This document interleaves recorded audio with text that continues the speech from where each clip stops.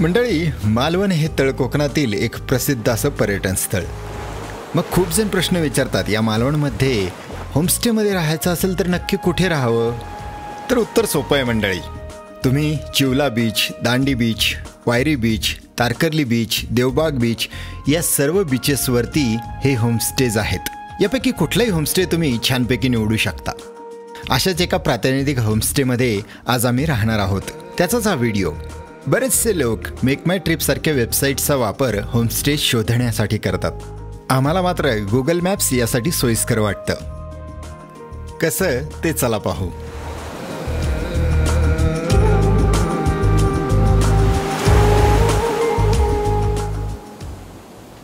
नमस्कार मित्रांनो सोमनाथ नागवडे चॅनलमध्ये तुम्हा सर्वांचं पुनश्च स्वागत.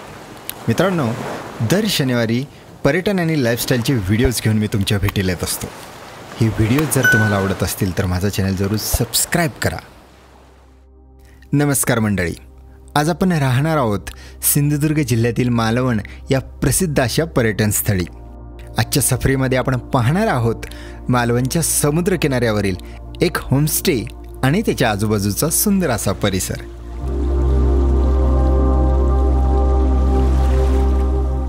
इकडे पोहोचलो.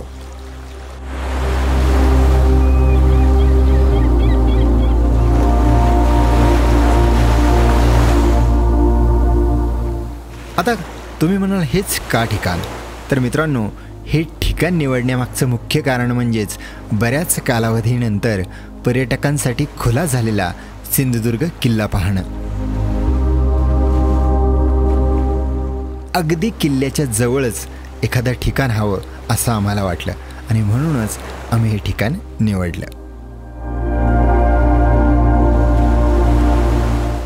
आम्ही तिकडे पोहोचलो तेव्हा तो अप्रतिम नजारा पाहून एकदम खुशच झालो.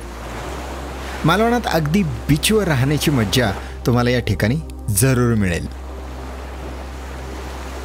माझं सर्वात आवडतं ठिकाण म्हणजे सिंधुदुर्गातलं मालवण आणि मालवणच्या आसपासचे बीचेस किंवा समुद्रकिनारे. मित्रांनो मालवणचा किल्ला आमचा पाहायचा राहिलेला होता. अनेकदा आम्ही या किल्ल्याला आलो परंतु कोरोनामुळे किल्ला पाहता येत नव्हता.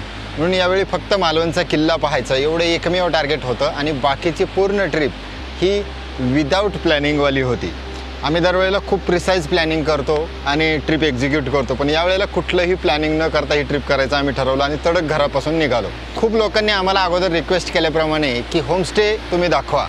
आज आम्ही होमस्टेमध्ये राहत आहोत.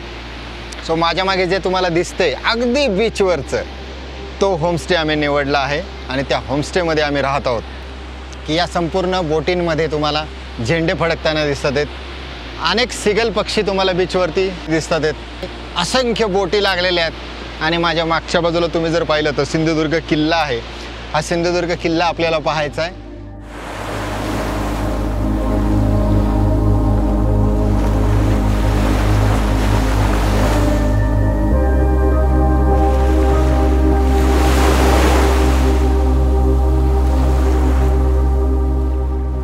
खिडकीतून दिसणाऱ्या दर्याच्या फेसाळ लाटा समोरच्या समुद्रात ठाण मांडून उभा असणारा सिंधुदुर्ग. किनाऱ्यावर मासेमारीच्या असंख्य होड्या हवेमध्ये सिगल पक्ष्यांचे मुक्त विहार करणारे थवे समुद्राच्या पाण्यावर तरंगणाऱ्या बोटी असं निसर्गचित्र आपल्या डोळ्यापुढे दिसतं.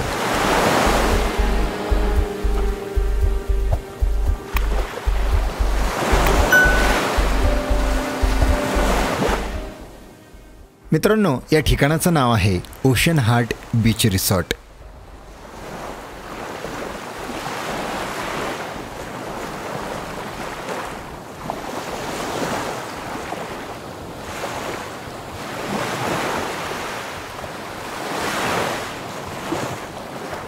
या रूमच्या बाहेरच जेवणाची व्यवस्था असणारी एक जागा आहे.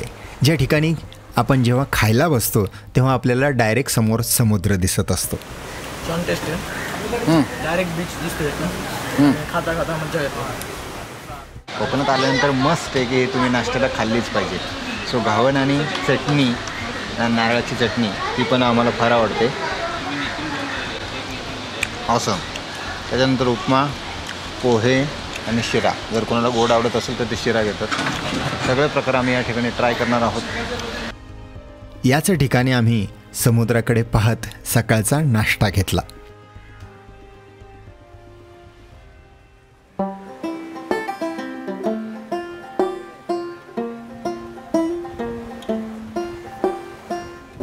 मंडळी जर तुम्हाला मालवण पूर्णपणे पाहायचं असेल तर चिवला बीच वायरी तारकर्ली दांडी बीच या कुठल्याही ठिकाणचा होमस्टे तुम्ही निवडू शकता.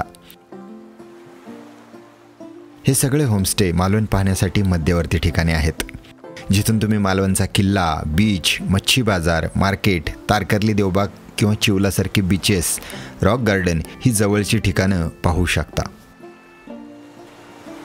या सर्व होमस्टेचा रेट साधारण बाराशे रुपयांपासून ते ते अडीच हजारापर्यंत आहे.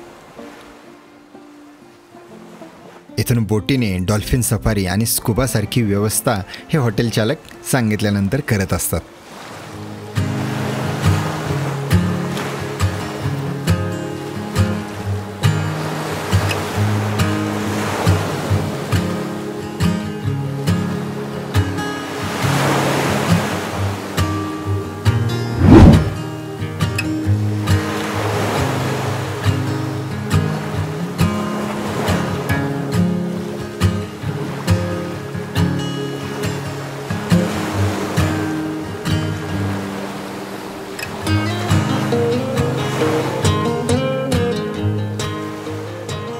या वायरीच्या बीचवरून मालवण बीचवरील माशांचा लिलाव अगदी हाकेच्या अंतरावर आहे. याच किनाऱ्यावरून वॉटर स्पोर्टची धूमधाम सुरू असते. दुसऱ्या दिवशीच्या सकाळी रापण हा तळ कोकणातील समुद्र किनाऱ्यावर चालणारा पारंपरिक मासेमारीचा प्रकार पाहिला. किनाऱ्यावरून इंजिन विरहित लाकडी होडीतून जाळं टाकलं जातं. आणि मग नंतर वीस ते पंचवीस जण हे जाळं ओढत राहतात. यामध्ये खूप प्रकारचे मासे सापडतात.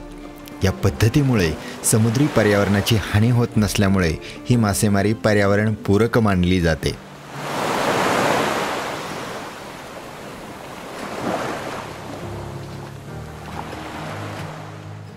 सिंधुदुर्ग किल्ल्याचं भूमिपूजन ज्या ठिकाणी शिवरायांच्या हस्ते झालं तो मोर्याचा धोंडाही याच बीचवर आहे.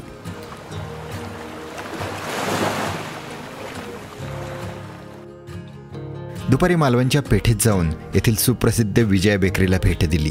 येथील मावा केक मस्तच आहे. मावा केक आहे विजया